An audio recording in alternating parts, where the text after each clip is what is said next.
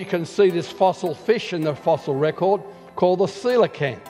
Supposed to have died out 65 million years ago. Until 1938, we found it living off the coast of Madagascar.